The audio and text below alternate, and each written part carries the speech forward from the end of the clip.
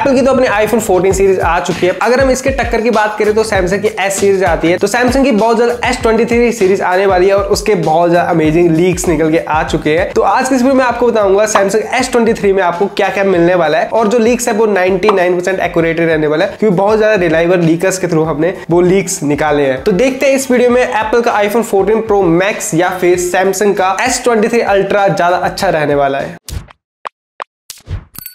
सबसे पहले गाइस दोनों फ़ोन की सीरीज़ की बात करें तो एप्पल में हमें आईफोन 14, 14 प्लस 14 प्रो और 14 प्रो मैक्स देखने को मिलता है। और सैमसंग की बात करें तो सैमसंग S23 में हमें सैमसंग S23 देखने को मिलेगा सैमसंग S23 प्लस देखने को मिलेगा और सैमसंग S23 अल्ट्रा देखने को मिलेगा। तो ये ये हमें वेरियंट देखने को मिलेंगे। पर अब बात करते हैं दोनों के लुक्स एंड डिज़ाइन की। पहले हम अगर एप्पल की बात करें एप्पल ने इस बार कुछ नया लेके नहीं आया डिज़ाइन बिल्कुल सेम है हमारा आईफोन थर्टीन सीरीज़ की तरह। तो मुझे भी पर्सनली कुछ नया फील नहीं आ रहा है कि मैंने एक नया आईफोन लिया है। बस एक डायनेमिक आईलैंड दिखाई देता है जब फ्रंट से देखना हो। इसके अलावा जो इन हैंड फील है और जो लुक वाइज लगता है देखने में फ़ोन वो बिल्कुल ऐसा लगता है कि मैं पुराने वाले फ़ोन यूज़ करूँ डेढ़ लाख रुपए खर्चने के बाद भी ऐसा नहीं लग रहा कि मैंने एक नया फ़ोन लिया है। बाकी आपकी क्या राय है? अगर आपने अपग्रेड किया आईफोन थर्टीन से आईफोन फोर्टीन में, आपको कैसा लग रहा है? आप बता सकते हो नीचे कमेंट सेक्शन में। अब बात करते हैं सैमसंग की। सैमसंग के एस की डिज़ाइन में भी हमें चेंजेस देखने को नहीं मिलेंगे। सिर्फ़ इंप्रूवमेंट देखने को मिलेगी। जो सैमसंग का S23 अल्ट्रा है, वो आपको सैमसंग S22 अल्ट्रा की तरह देखने को मिलेगा। बस उसका जो इन हैंड फील है, उसको सैमसंग थोड़ा इंप्रूव कर देगा, थोड़ा इन हैंड फील में जो एज कॉर्नर्स वगैरह है, जब आप फ़ोन को हाथ में पकड़ोगे तो आपको ज़्यादा अच्छा फील होगा, ज़्यादा कंफर्ट फील होगा। पर जो हमारा सैमसंग S23 है और S23 प्लस उसके डिज़ाइन को थोड़ा सा चेंज करने वाला है तो कुछ इस तरह से लगने वाला है हमारा सैमसंग S23 और S23 प्लस तो यहाँ पर हो सकता है कि सैमसंग फ़ैन भी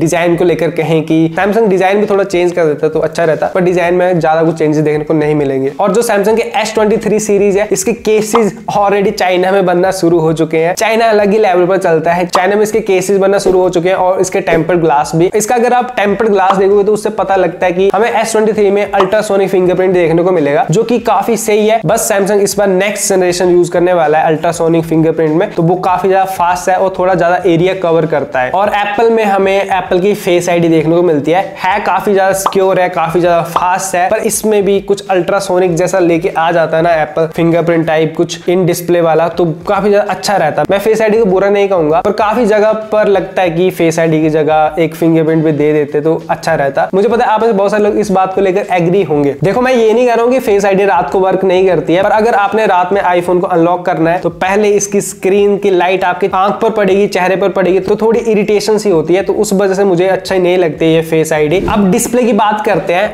आईफोन की जो इस पर डिस्प्ले है ये बहुत ज़्यादा तगड़ी डिस्प्ले है। इसमें 2000 ब्राइटनेस निट्स देके रखा है। जब हम आउटडोर यूज़ करते हैं तो जितनी भी सन की लाइट हो, इसकी आउटपुट बहुत तगड़ी रहती है। पर सैमसंग पीछे रहने वाला नहीं है तो S23 अल्ट्रा में 2000 ब्राइटनेस निट्स से ज़्यादा हमें ब्राइटनेस निट्स देखने को मिलेगी। पहले हमें सैमसंग में 1700 नीट्स देखने को मिलते थे। अभी ये 2000 क्रॉस करने वाला है मतलब एप्पल से भी ज़्यादा। एप्पल खुद सैमसंग से डिस्प्ले लेता है, फिर उसके बाद और तगड़ी बना के अपने फ़ोन में लगा देता है। पर सैमसंग पीछे रहने वाले नहीं है। सैमसंग और भी ज़्यादा ब्राइटनेस निट्स देने वाला है। ऊपर से सैमसंग के डिस्प्ले में हमें कलर्स ज़्यादा वाइब्रेंट देखने को मिलते हैं, ज़्यादा पंची कलर देखने को मिलते हैं। और एप्पल एक नेचुरल सी टोन रखता है तो ये पर्सनल टेस्ट के ऊपर डिपेंड करता है किसी को नेचुरल पसंद होता है, किसी को बूस्टर कलर ज़्यादा अच्छे लगते हैं। और एप्पल की डिस्प्ले बिल्कुल फ्लैट डिज़ाइन में आती है। सैमसंग एस के राउंड कॉर्नर रहने वाले हैं तो इस बार थोड़ा और इंप्रूव कर देगा, जिससे इन हैंड फील ज़्यादा अच्छा हो जाएगा। और अब बात कर लेते हैं कैमराज की तो इस बार एप्पल ने इतने ज़्यादा टाइम के बाद 48 मेगापिक्सल का कैमरा लेके आया। अपने आईफोन 14 प्रो और मैक्स में, पर इसे यूज़ करने के लिए आपको रो मोड ऑन करना पड़ता है। डिटेल काफ़ी तगड़ी आती है। 48 मेगापिक्सल जब आप यूज़ करते हो, पर सैमसंग का आपको पता ही है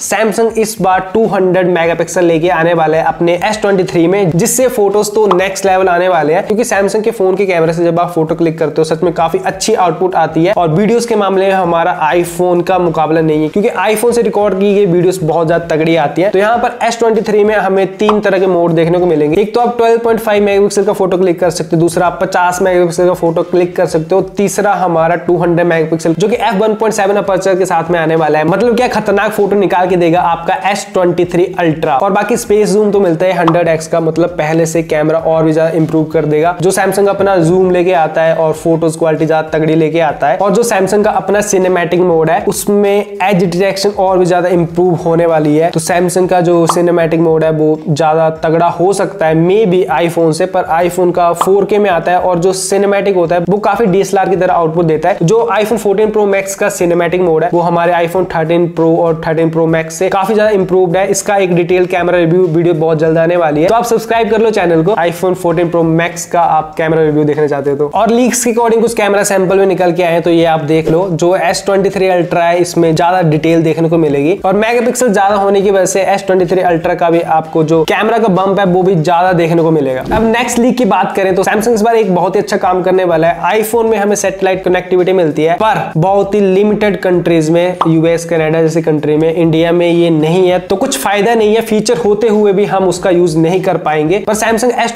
में भी हमें सेटेलाइट कम्युनिकेशन मिलने वाला है, जो कि हर कंट्री में अवेलेबल करवाने वाला है सैमसंग तो लीक्स तो यही कहते हैं। तो फिर एप्पल यूज़र को हो सकता है कि ये बात बुरी लगे, मुझे भी थोड़ी बुरी लगी, अगर ये फीचर इंडिया में भी अवेलेबल होता और बाकी कंट्रीज़ में भी तो काफ़ी अच्छा रहता। जो हमने अपडेट के लिए पैसा दिया है तो फिर कहीं ना कहीं उसका यूज़ भी कर पाते हैं पर नहीं कर पा रहे हैं हम। तो ये बात मुझे सैमसंग की अच्छी लगी। इसके अलावा सैमसंग में आपको दो एडवांटेज और मिल जाते हैं। एक तो आपको एस पेन देखने को मिलेगा और फास्ट चार्जिंग आपको एप्पल से तो ज़्यादा मिलने वाले हैं। फोर्टी फाइव वॉट की आपको फास्ट चार्जिंग मिल जाएगी। पर हाँ एप्पल जितना बैटरी बैकअप नहीं है उसका, ये बैटरी बैकअप ज़्यादा निकालता है हमारा एस ट्वेंटी टू से। बाकी देखते हैं एस ट्वेंटी थ्री में क्या कमाल करते हैं ऑप्टिमाइजेशन कितनी अच्छी लेके आता है, क्योंकि सॉफ्टवेयर का बहुत बड़ा रोल रहता है। तो ये कुछ लीक्स है हमारे एस ट्वेंटी थ्री अल्ट्रा के। और इसके अलावा प्रोसेसर की बात करें तो प्रोसेसर को लेकर मैं कुछ ज़्यादा नहीं कहूँ, क्योंकि लीक्स में हमें कुछ ज़्यादा पता नहीं लग रहा है कि इंडिया में एक्सोनिस प्रोसेसर आने वाला है या फिर स्नैपड्रैगन का। तो जैसे कंफर्म हो जाएगा, मैं आपको अपडेट दे दूँगा। तो फिर ये था हमारा सैमसंग का एस ट्वेंटी थ्री अल्ट्रा तो फिर आप बताओ कि आपको एस ट्वेंटी थ्री अल्ट्रा कैसा लगा? और आप कमेंट करके बता सकते हो, आपको आईफोन ज़्यादा अच्छे लगते हैं या फिर सैमसंग की ये एस सीरीज़ अच्छी लगती है? कमेंट करके बताओ। बाकी जो भी है, आप लिख सकते हो कमेंट सेक्शन में। तो मिलते हैं आपके नेक्स्ट वीडियो में। आई होप कि आपको ये वीडियो अच्छी लगी। वीडियो अच्छी लगी, वीडियो को लाइक कर देना और शेयर कर देना। और मेरे ब्लॉग चैनल का लिंक नीचे डिस्क्रिप्शन में वहाँ पर आ जाओ आप। मिलते हैं नेक्स्ट वीडियो में बाय बाय